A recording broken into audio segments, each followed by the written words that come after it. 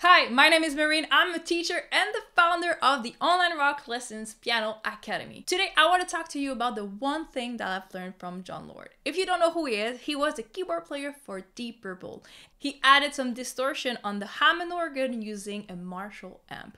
This new sound just changed everything because now the keyboard was in front of the sound of a band just like a guitar player. The other thing that he did is that he used inverted fifth on the Hammond organ. So with the distortion and the big sound, it was just awesome. All right, so we're gonna talk about how it works, what is inverted fifth, and how you can actually practice this.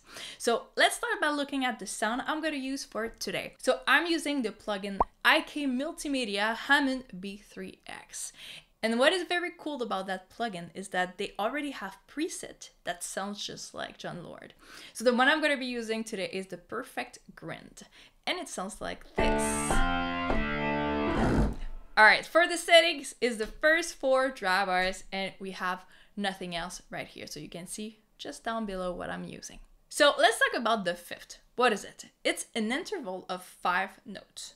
If I start from C to G, we have one, two, three, four, five notes right here. So this is a fifth, a normal fifth. But what Jon Lord did is that instead of playing just the fifth normal, just like that, he took the top note and put it below the note we were playing, the melody, just like that. And it just changed everything because everything was sounding just better like this. Let's take a real example. If we look at Smoke on the Water, I'm sure you know that song.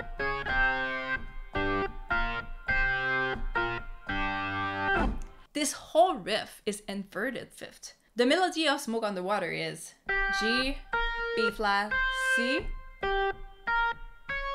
double note. It's basically the G minor pentatonic blues right here. Goes up and down.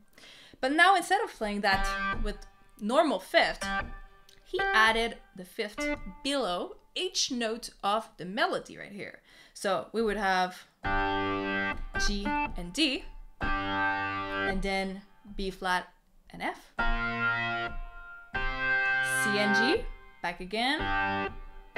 With the blue note, same thing, going down and so basically it's all inverted fifths. And this is why it sounds so good.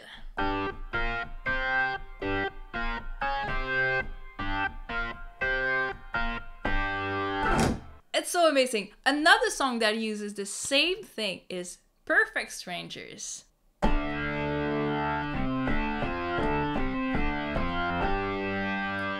It's all inverted fifths. Let's take a look at it. So this is on the minor pentatonic scale.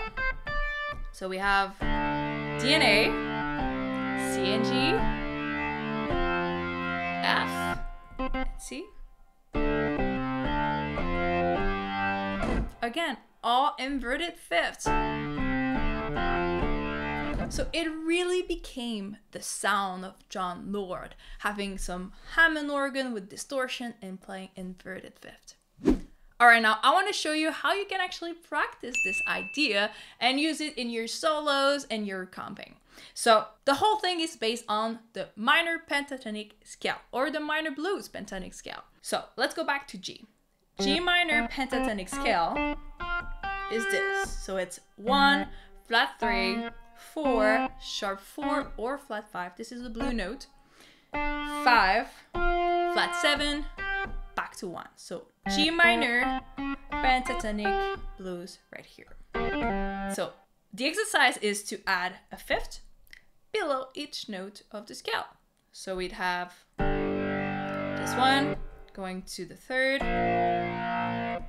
fourth, sharp four, fifth,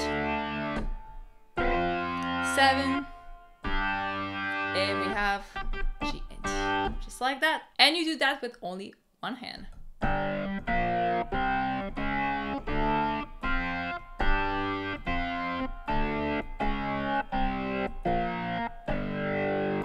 and you can transpose that on any other pentatonic scale. So this is a very cool trick because it's gonna help you create some riff, write some songs, and have a cool rhythm comping over there. So it sounds so good. Alright, if you're a Jon Lord fan as much as I am, you must check out my new course on onlinerocklessons.com.